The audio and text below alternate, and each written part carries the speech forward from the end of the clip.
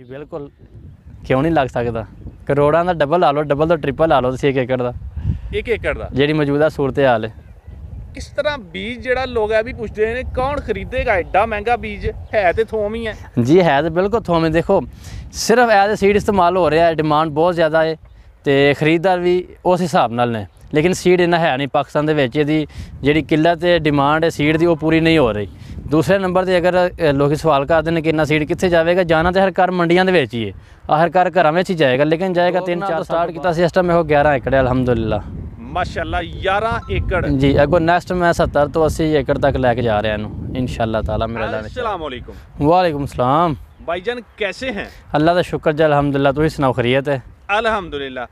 अच्छा बताइएगा कि उर्दू में बात करना पसंद करेंगे या पंजाबी में मुझे दोनों में मसला नहीं है लेकिन पंजाबी में करेंगे तो ज़्यादा अच्छा रहेगा अच्छा नाजरीन ਨੂੰ ਆਪਣਾ ਫਿਰ ਨਾਂ ਪਤਾ ਦੱਸੋ ये इरफान वाला बटी नाम गुजरान वाला तो बिलोंग करना ਠੀਕ ਹੈ ਅੱਛਾ ਲਸਣ ਦਾ ਕੰਮ ਕਦੋਂ ਦੇ ਪੇ ਕਰਦੇ ਹੋ मैनू दो साल हो गए न।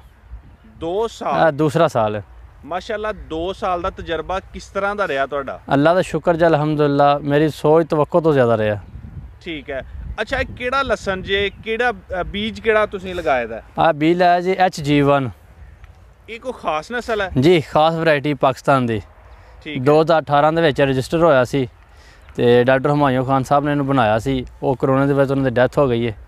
ਤੇ ਅੱਗੋਂ ਚੱਲਦਾ ਆ ਰਿਹਾ ਇਹਦੇ ਪਰਪਸ ਸੀਡ ਵਾਸਤੇ। ਠੀਕ ਹੈ। ਅੱਛਾ ਇਹ ਦੱਸੋ ਕਿ ਕਾਫੀ ਸਾਰੀ ਵੀਡੀਓਜ਼ ਦੇ ਵਿੱਚ ਤੁਸੀਂ ਆਖਿਆ ਕਿ ਜ਼ਮੀਨ 'ਚ ਸੋਨਾ ਕੱਢਿਆ ਕਿੰਜ ਕੱਢ ਲਿਆ ਜ਼ਮੀਨ 'ਚ ਸੋਨਾ? ਵੇਖੋ ਇਹ ਤੁਹਾਡੇ ਸਾਹਮਣੇ ਹੀ ਹੈ ਤੁਹਾਨੂੰ ਨਜ਼ਰ ਆ ਰਿਹਾ ਇਹ ਸੋਨਾ ਹੀ ਹੈ।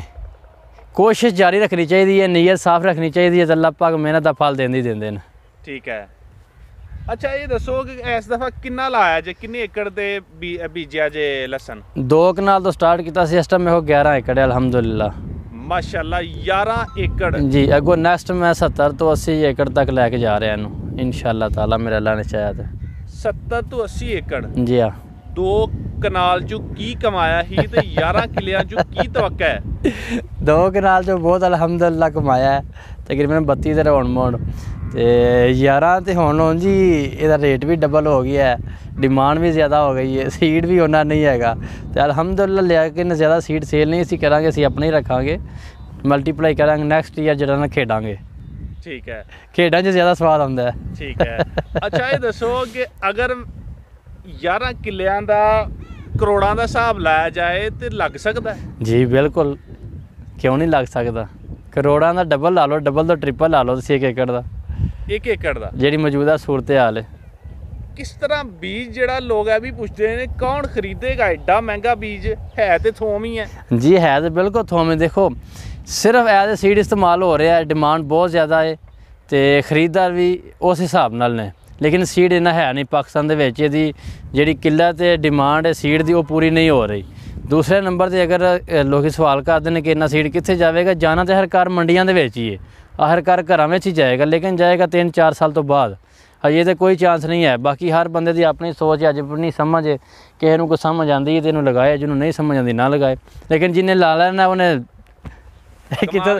ਕਿੱਥੋਂ ਦਾ ਕਿੱਥੇ ਪੜ ਜਾਣਾ ਇਹ ਤੇ ਬਾਅਦ ਕਰਾਬ ਜਿਹੜਾ ਲਾਂਦਾ ਉਹ ਵੀ ਪਛਤਾਉਂਦਾ ਜਿਹੜਾ ਨਹੀਂ ਲਾਂਦਾ ਉਹ ਵੀ ਪਛਤਾਉਂਦਾ ਠੀਕ ਹੈ। ਪਰ ਜਿਹੜਾ ਪਛਤਾਉਂਦਾ ਲਾ ਕੇ ਪਛਤਾਉਂਦਾ ਹੁੰਦਾ, ਮੈਂ ਥੋੜਾ ਕਿਉਂ ਲਾਇਆ? ਤੇ ਜਿਹਨੇ ਨਹੀਂ ਲਾਇਆ, ਉਹ ਤਾਂ ਜ਼ਿਆਦਾ ਪਛਤਾਉਂਦਾ ਕਿ ਮੈਂ ਲਾਇਆ ਕਿਉਂ ਨਹੀਂ ਹੈ? ਮੈਨੂੰ ਲਾਣਾ ਚਾਹੀਦਾ ਸੀ। ਦੇਖੋ ਜੀ, ਪਾਕਿਸਤਾਨ ਦੇ ਵਿੱਚ ਮੇਰੇ ਖਿਆਲ ਨਾਲ ਐਗਰੀਕਲਚਰ ਪਹਿਲੀ ਕਰਾਪ ਆਈ ਹੈ ਜਿਹੜੀ ਕਿਸਾਨਾਂ ਵਿਚਾਰਿਆਂ ਨੂੰ ਖੁਸ਼ਹਾਲ ਕਰਨ ਵਾਸਤੇ ਵੇ। ਖੁਸ਼ਹਾਲੀ ਵਾਲੇ ਪਾਸੇ ਲੈ ਕੇ ਜਾਏਗੀ, ਨਹੀਂ ਤੇ ਕੁਝ ਵੀ ਨਹੀਂ ਬਚਦਾ, ਮੁੰਜੀ ਕਣਕ ਮਕਾਈ ਕਪਾਹ ਲਾ ਕੇ ਤੇ ਘਰ ਦੇ ਪੈਸੇ ਵੀ ਨਹੀਂ ਪੂਰੇ ਹੁੰਦੇ। ਅੱਛਾ ਇਹ ਦੱਸੋ ਕਿ 1 ਏਕੜ ਤੇ ਖਰਚਾ ਕਿੰਨਾ ਕੁ ਆ ਜਾਂਦਾ ਇਹਨੂੰ ਤਿਆਰ ਕਰਨ 'ਚ? ਦੇਖੋ ਇਸ ਟਾਈਮ ਜਿਹੜੀ ਇਹ ਸਾਲ ਡਿਮਾਂਡ ਤੇ ਬਹੁਤ ਜ਼ਿਆਦਾ 35 ਤੋਂ 40 ਲੱਖ ਰੁਪਏ ਦਾ 1 ਏਕੜ ਦਾ ਖਰਚਾ ਹੈ। ਤੇ ਉਸ ਤੋਂ ਬਾਅਦ ਜਿਹੜਾ ਨਾ ਹੋਰ ਜ਼ਿਆਦਾ ਜ਼ਿਆਦਾ ਸੀਡ ਦੀ ਖਰਚਾ ਹੈ ਹੋਰ ਤੇ ਖਾਦਾਂ ਵਗੈਰਾ ਨਾਰਮਲ ਹੀ ਨਹੀਂ ਇੰਨਾ ਉੱਤੇ ਖਰਚਾ ਨਹੀਂ ਹੁੰਦਾ। ਲੱਖ ਡੇਢ 2 ਲੱਖ ਤੁਸੀਂ ਏਕੜ ਤੇ ਮਜ਼ੀਦ ਲਗਾ ਲਓ। ਲੇਕਿਨ ਆ ਇਹ ਕਿ ਜ਼ਿਆਦਾ ਸੀਡ ਦਾ ਹੀ ਜਿਹੜਾ ਨਾ ਖਰਚਾ ਹੈ। ਅੱਛਾ 40 45 ਲੱਖ ਲਾ ਕੇ ਫਸਲ ਦੇ ਉੱਤੇ ਖਰਚਾ ਕਰਨਾ ਹੈ। ਤੇ ਫਸਲ ਦੇਗੀ ਕੀ? ਦੇਖੋ ਸਾਰਿਆਂ ਨਾਲੋਂ ਪਹਿਲਾਂ ਦੇ ਜਿਹੜੇ ਮੇਰੇ ਨਵੇਂ ਕਿਸਾਨ ਨੇ, ਉਹ ਆਪਣੇ ਅੰਦਰ ਹੌਸਲਾ ਪੈਦਾ ਕਰਨ। ਬਹੁਤ ਜ਼ਿਆਦਾ ਲੋਕੀ ਪਰੇਸ਼ਾਨ ਵੀ ਹੁੰਦੇ ਨੇ। ਪਤਾ ਨਹੀਂ ਕਿੰਨੇ ਕੁ ਹਿਸਾਬ ਦੇ ਨਾਲ ਲੋਕੀ ਆ ਚੁੱਕੇ ਨੇ ਵਿਜ਼ਿਟ ਕਰਦੇ ਨੇ, ਉਹਨਾਂ ਨੂੰ ਗਾਈਡ ਵੀ ਕਰੀਦਾ ਥੋੜੇ ਤੋਂ ਸਟਾਰਟ ਕਰੋ, ਜ਼ਿਆਦਾ ਤੋਂ ਨਾ ਕਰੋ, ਤੁਸੀਂ ਏਕੜਾਂ ਤੇ ਨਾ ਜਾਓ। ਏਕੜਾਂ ਤੋਂ ਕਿਸਾਨ ਵਿਚਾਰਾ ਜਾ ਹੀ ਨਹੀਂ ਸਕਦਾ। ਜਿਸ ਤਰ੍ਹਾਂ ਉਹ ਥੋੜੇ ਥੋੜੇ ਮੀਟਰ ਭੋਰਾ ਪੂਰਾ ਕਰਕੇ ਉਹਨੇ ਇਕੱਠੇ ਕੀਤੇ ਨੇ, ਤੇ ਅਗਰ ਉਹਨੂੰ ਕਹਾਂ ਦੇ ਏਕੜ ਤੇ ਨਹੀਂ ਲਾ ਸਕਦਾ। ਇਹ ਕਨਾਲ ਦੋ ਕਨਾਲ ਤੋਂ ਸਟਾਰਟ ਕਰ ਲਵੇ, ਸਭ ਨੂੰ ਪਹਿਲੇ ਆਪਣਾ ਸੀਡ ਖੁਦ ਘਰ ਦਾ ਤਿਆਰ ਕਰੇ। ਅਗਰ ਇਹ ਕਨਾਲ ਦਾ ਵੀ ਸ਼ੁਰੂ ਕਰ ਦਵੇ ਇਹ ਕਨਾਲ ਲਾ ਕੇ ਉਹਦਾ 1 ਏਕੜ ਦਾ ਸੀਡ ਬਣੇਗਾ। ਇੱਕ ਏਕੜ ਤੇ ਲਾ ਕੇ ਉਹ 8 ਏਕੜ ਤੇ ਜਾਏਗਾ ਤੇ ਉਹਦੀ ਸੀਡ ਦੀ ਕਾਸਟ ਕਿੱਥੇ ਟੁੱਟ ਜਾਏਗੀ? ਉਹ ਫ੍ਰੀ ਫ੍ਰੀ ਉਹਨੂੰ ਫ੍ਰੀ ਆਫ ਕਾਸਟ ਪੈ ਜਾਏਗਾ। ਜੀ ਜੀ। ਤੇ ਪ੍ਰੋਡਕਸ਼ਨ ਵੀ ਜਾ ਕੇ ਤੀਸਰੇ ਸਾਲ ਕੀ ਹੱਦ ਤੱਕ ਜਾਏਗਾ ਤੇ ਉਦੋਂ ਜਾ ਕੇ ਤੇ 200 ਰੁਪਏ 100 ਰੁਪਏ ਕਿਲੋ ਵੀ ਹੋਵੇ ਤੇ ਉਹ ਉਹਦੀ ਸੋਚ ਤੋਂ ਜ਼ਿਆਦਾ ਪੈਸੇ ਨੇ। ਉਹਨੇ ਉਹਨੂੰ ਵੇਖੀ ਕਿਸਾਨ ਉਹਨੇ ਵੇਖੀ ਨਹੀਂ ਹੋਣੇ ਕਿ ਯਾਰ ਵਾਕਈ ਇਹਨੇ ਪੈਸੇ ਬਚ ਜਾਂਦੇ ਨੇ। ਲੇਕਿਨ ਜਿੰਨੀ ਦੇਰ ਤੱਕ ਕਿਸੇ ਲਾਣਾ ਨਹੀਂ ਨਾ ਉਨੀ ਦੇਰ ਤੱਕ ਉਹਨੂੰ ਤਜਰਬਾ ਨਹੀਂ ਹੋਣਾ। ਠੀਕ ਹੈ। ਅੱਛਾ, ਇਹ ਦੱਸੋ ਕਿ ਇਹਨੂੰ ਲਗਾ, ਲਗਾਉਣੇ ਦਾ ਕੀ ਤਰੀਕਾਕਾਰ ਹੈ ਨਾਰਮਲ ਜਿਸ ਤਰ੍ਹਾਂ ਲਸਣ ਲਗਾਇਆ ਜਾਂਦਾ ਹੈ, ਦੇਸੀ, ਉਸੇ ਤਰ੍ਹਾਂ ਹੀ ਇਹਨੂੰ ਕੋਈ ਪ੍ਰੋਟੋਕੋਲ ਦੇ ਦਿੱਤਾ ਜਾਂਦਾ ਹੈ। ਇਹ ਪ੍ਰੋਟੋਕਾਲ ਤੇ ਦੇਣਾ ਪੈਂਦਾ ਨਾ। ਜਿਹੜਾ ਕੋਈ ਲਾਡਲਾ ਬੱਚਾ ਘਰ 'ਚ ਹੋਏ ਉਹਨੂੰ ਮਾਪਿਓ ਵੀ ਆਂਦਾ ਕਿ ਯਾਰ, ਇਹਨੂੰ ਥੋੜਾ ਜਿਹਾ, ਜਰਾ ਜ਼ਿਆਦਾ ਪਿਆਰ ਕਰੀਏ। ਇਹਨੂੰ ਅਸੀਂ ਫਲੈਟ ਤੇ ਨਹੀਂ ਲਾ ਸਕਦੇ, ਇਹਨੂੰ ਬੈੱਡ ਤੇ ਲਾ ਸਕਨੇ ਹਾਂ ਅਸੀਂ। ਅਗਰ ਦੂਸਰੇ ਫਲੈਟ ਤੇ ਲਾਵਾਂਗੇ ਤੇ ਕਾਮਯਾਬ ਨਹੀਂ ਹੋਵੇਗਾ ਤੇ ਪਾਣੀ ਦਾ ਜਿਹੜਾ ਵੇ ਪਾਣੀ ਜ਼ਿਆਦਾ ਖੜਾ ਰਹੇਗਾ ਤਾਂ ਉਹ ਨੁਕਸਾਨ ਪਹੁੰਚਾਏਗਾ। ਇਹਨੂੰ ਤੁਸੀਂ ਖੇੜੀਆਂ ਤੇ ਲਾ ਸਕਦੇ ਹੋ 16 ਇੰਚ ਦਾ ਬੈੱਡ ਬਣਾ ਲਓ 12 ਇੰਚ ਦਾ ਬਣਾ ਲਓ 32 ਇੰਚ ਦਾ ਬਣਾ ਲਓ 42 ਇੰਚ ਦਾ ਬਣਾ ਲਓ। ਉਹ ਤੇ 8 8 ਦੇ ਫਾਸਲੇ ਦੇ 8 ਇੰਚ ਦੇ ਫਾਸਲੇ ਨਾਲ ਤੁਸੀਂ ਲਗਾ ਲਓ ਤੇ ਅਕਤੂਬਰ ਦੇ ਵਿੱਚ ਲੱਗਦਾ। ਠੀਕ ਹੈ। ਅੱਛਾ ਇਹ ਦੱਸੋ ਕਿ ਇਹ ਜਿਹੜਾ ਬੀਜ ਹੈ ਇਹਨੂੰ ਘਰ ਦੇ ਵਿੱਚ ਕਦੇ ਇਸਤੇਮਾਲ ਕੀਤਾ ਤੁਸੀਂ? ਜੀ ਬਿਲਕੁਲ ਅਲਹਮਦੁਲਿਲਾ ਮੈਂ ਬੀਜ ਇਸਤੇਮਾਲ ਕੀਤਾ ਵੇ ਬਿਲਕੁਲ A1 ਕੋਈ ਮਸਲਾ ਨਹੀਂ। ਠੀਕ ਹੈ। ਠੀਕ ਦੇਸੀ ਵਾਲਾ ਜ਼ਾਇਕਾ ਜਿਹੜਾ ਸਾਡਾ ਦੇਸੀ ਹੈ ਜਿਹੜੇ ਪੁਰਾਣਾ ਦੇਸੀ। ਹੈ ਉਹਦੇ 'ਚ ਤੇ 'ਚ ਫਿਰ ਕੀ ਫ਼ਰਕ ਹੈ? ਦੇਖੋ ਫ਼ਰਕ ਤੇ ਬਹੁਤ ਜ਼ਿਆਦਾ ਨਾ। ਉਹਦੀ ਐਵਰੇਜ ਪ੍ਰੋਡਕਸ਼ਨ ਜਿਹੜੀ ਉਹ 60 70 ਮਨ ਆਂਦੀ ਹੈ ਗਿੱਲੇ ਦੀ। ਇਹਦੀ ਆਂਦੀ 250 ਤੋਂ 350 ਮਨ। ਦੇਖੋ ਨਾ ਇਹਦੀ ਐਵਰੇਜ ਤੇ ਮਾਸ਼ਾਅੱਲਾ ਕਿੰਨੀ ਜ਼ਿਆਦਾ ਹੈ ਨਾ। ਉਸ ਤੋਂ ਬਾਅਦ ਇਹਦਾ ਸੀਡ ਦਾ ਜਿਹੜਾ ਵੇ ਉਹ ਮੋਟਾਈ ਹੈ ਉਹ ਪਤਲੀਆਂ ਪਤਲੀਆਂ ਤੁਰੀਆਂ ਹੁੰਦੀਆਂ ਨੇ। ਇਹ ਮਾਸ਼ਾਅੱਲਾ ਜਿਹੜਾ ਨਾ ਅੱਧਾ ਅੱਧਾ ਕਿਲੋ ਦਾ ਜਿਹੜਾ ਨਾ 400 500 ਗ੍ਰਾਮ ਦਾ ਇੱਕ ਗੰਢਾ ਹੁੰਦਾ ਜਿਹਦੇ ਵਿੱਚ 8-10 ਤੁਰੀਆਂ ਹੁੰਦੀਆਂ ਨੇ। ਤੇ ਉਹ ਮਾਈਆਂ ਛਿੱਲਣ ਬਹਿ ਜਾਂਦੇ 2-2 ਘੰਟੇ ਬਹਿੰਦੀਆਂ ਨੇ। ਕਿ ਛਿੱਲ ਕੇ ਤੇ ਫਿਰ ਹਾਣੀ ਚ ਪਾਣਾ ਤੇ ਨਵੀਂ ਜਨਰੇਸ਼ਨ ਜਿਹੜੀ ਜੋ ਇਨੀ ਖਪਤ ਕਰ ਸਕਦੀ ਉਹ ਕਿਸੇ ਸੂਰਤ ਖਪਤ ਨਹੀਂ ਕਰ ਸਕਦੀ। ਉਹ ਕਹਿੰਦੇ ਨੇ ਸ਼ਾਰਟਕਟ ਲੱਭੇ। ਜੀ ਜੀ। ਇਹ ਇਹ ਲਾਂਦੇ ਤੇ ਫਿਰ ਵੀ ਅੱਗੋਂ ਜਾ ਕੇ ਰੋਟੀ ਲੱਭਣੀ ਨੇ ਤੇ ਰੋਟੀ ਵੀ ਬਾਹਰੋਂ ਹੀ ਲੱਭਣੀ ਹੈ। ਠੀਕ ਹੈ। ਅੱਛਾ ਇਹ ਦੱਸੋ ਲਗਾ ਤੇ ਤੁਸੀਂ ਲਿਆ ਤੇ ਕਿਸ ਤਰ੍ਹਾਂ ਤੁਹਾਨੂੰ ਪਤਾ ਲੱਗੇਗਾ ਕਿ ਤਿਆਰ ਹੋ ਗਿਆ ਹੁਣ ਇਹਨੂੰ ਜਿਹੜਾ ਉਹ ਬੀਜ ਨੂੰ? ਦੇਖੋ ਇਹਦਾ 6 ਮਹੀਨੇ ਤੱਕ ਹੀ ਭਾਈਜਨ ਹੁੰਦਾ ਵੇ ਕਿ ਹਜੇ ਗੰਢੀ ਥੱਲੇ ਨਹੀਂ ਤਿਆਰ ਹੁੰਦੀ। ਇੰਜ ਲੱਗਦਾ ਕਿ ਉਂਝ ਦਾ ਉਂਝ ਹੀ ਪਿਆ ਉੱਤੇ ਵਾਧਾ ਜਾਂਦਾ। ਲੇਕਿਨ ਲਾਸਟ ਸਟੇਜ ਜਿਹੜੀ ਹੁਣ ਅਪ੍ਰੈਲ ਦੀ ਆ ਗਈ ਏ ਤੇ ਅਪ੍ਰੈਲ ਦੇ ਵਿੱਚ ਇਹਦੇ ਵਿੱਚੋਂ ਇੱਕ ਗੰਡੇਲ ਨਿਕਲਦੀ ਏ। ਜਦੋਂ ਅਸੀਂ ਉਸ ਗੰਡੇਲ ਨੂੰ ਤੋੜਾਂਗੇ ਨਾ ਠੀਕ ਇੱਕ ਮਹੀਨੇ ਬਾਅਦ ਸਾਡਾ ਗੰਡਾ ਜਿਹੜਾ ਥੱਲੇ ਤਿਆਰ ਹੋ ਜਾਂਦਾ। ਉਹ ਮੈਂ ਤੁਹਾਨੂੰ ਦਿਖਾ ਦੇਣਾ ਇੱਥੇ ਕਿਤੇ ਹੋਈ ਤੇ। ਇਹ ਦਿਖਾ ਦਿਓ। ਜੀ ਇਹ ਦੇਖੋ ਨਾ ਜਿਵੇਂ ਇਹ ਵੇਖੋ। ਇਹ ਵੇਖੋ ਇਹ ਗੰਡੇਲ ਨਿਕਲੀ ਇਹਦੇ ਸੈਂਟਰ ਦੇ ਵਿੱਚੋਂ। ਜੀ ਜੀ। ਇਹ ਸੈਂਟਰ ਨਿਕਲਦੀ ਇਹਨੂੰ ਇੱਥੋਂ ਰੱਖ ਕੇ ਤੋੜ ਦਿੱਤਾ। ਠੀਕ ਇਹਨੂੰ ਤੋੜ ਜਾ ਇੱਕ ਠੀਕ ਇੱਕ ਮਹੀਨੇ ਬਾਅਦ ਥੱਲੇ ਤਿਆਰ ਹੋ ਜਾਏਗਾ।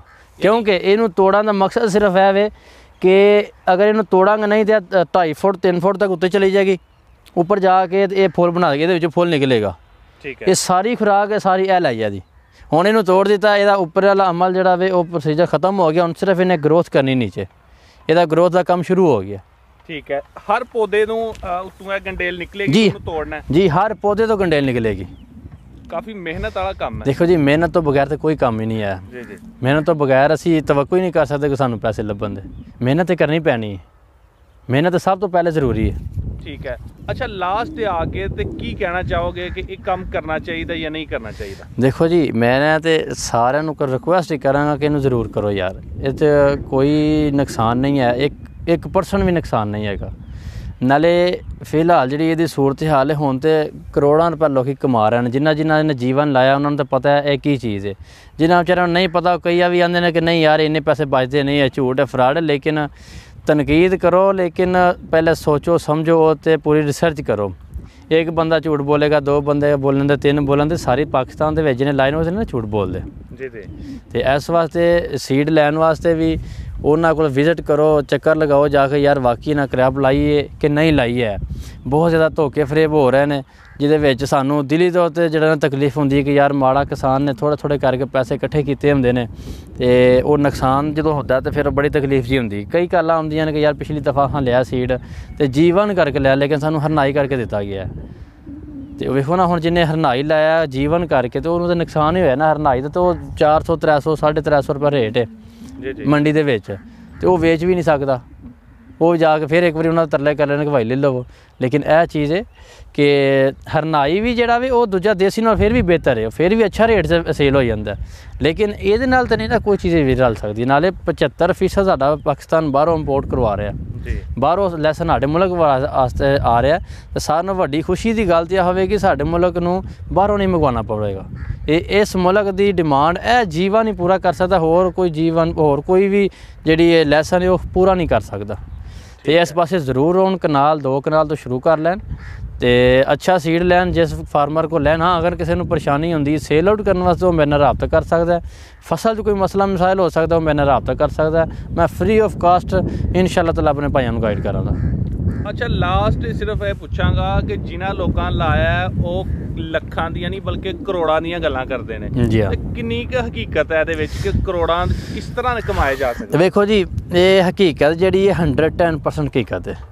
ਮੈਂ ਪਹਿਲੇ ਹੀ ਅਰਜ਼ ਕੀਤੀ ਹੈ ਕਿ ਜਿਹਨੇ ਤਾਂ ਜੀਵਨ ਲਾਇਆ, ਉਹਨੂੰ ਪਤਾ ਵੇ, ਨਾ ਤਾਂ ਉਹਨੂੰ ਕਿਸੇ ਦੀ ਜ਼ਰੂਰਤ ਹੈ ਕਿ ਮੈਨੂੰ ਕੋਈ ਆਖੇ, ਯਾਰ, ਇਹਨੇ ਸਹੀ ਲਾਇਆ ਜਾਂ ਗਲਤ ਲਾਇਆ। ਉਹਨੂੰ ਪਤਾ ਹੈ।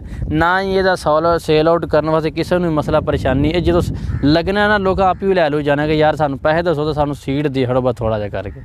ਅਜੇ ਕੋਈ 3-4 ਸਾਲ ਤੇ ਅਸੀਂ ਇੰਜ ਹੀ ਨਿਜ਼ਾਮ ਚੱਲੇਗਾ। ਬਾਕੀ ਅੱਲਾ ਦੀ ਅੱਲਾ ਜਾਣਦੇ ਨੇ, ਅਸੀਂ ਉਹ ਨਜੂਮੀ ਤੇ ਹੈ ਨਹੀਂ।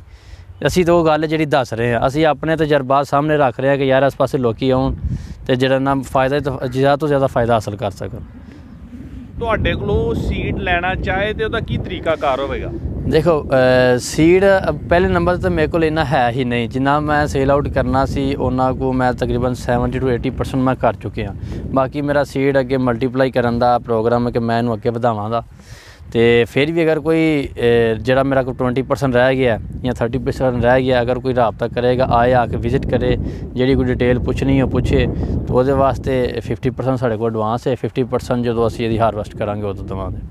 ਅੱਛਾ ਇਹਦਾ ਕੀ ਤਰੀਕਾਕਾਰ ਹੈ? ਲਗਾਉਣ ਦਾ ਕਦੋਂ ਲਗਾਈ ਜਾਂਦੀ ਹੈ ਔਰ 6 ਮਾਹ ਦੇ ਵਿੱਚ ਗੋਡੀਆਂ ਕਿਸ ਤਰ੍ਹਾਂ ਔਰ ਕਿੰਨੀਆਂ ਕਰਨੀਆਂ ਦੇਖੋ ਚਾਹੀਦੀਆਂ ਇਹ ਅਕਤੂਬਰ ਦੇ ਵਿੱਚ ਲੱਗਦਾ ਹੈ ਇਹ 15 10 ਤੋਂ 20 ਅਕਤੂਬਰ ਦੇ ਵਿੱਚ ਵਿੱਚ ਇਹਨੂੰ ਲਗਾ ਦੇਣਾ ਚਾਹੀਦਾ। ਉਸ ਤੋਂ ਬਾਅਦ ਅਸੀਂ ਤੇ ਤਿੰਨ ਗੋਡੀਆਂ ਕਰਵਾਈਆਂ ਨੇ। ਤੇ ਨਾਲ ਖਾਦਾਂ ਨੇ ਡੀਏਪੀ ਹੈ ਯੂਰੀਆ ਹੈ ਨਾਈਟ੍ਰੋਫਾਸ ਹੈ ਅਮੋਨੀਅਮ ਸਲਫੇਟ ਹੈ ਜ਼ਲਫਰ ਹੈ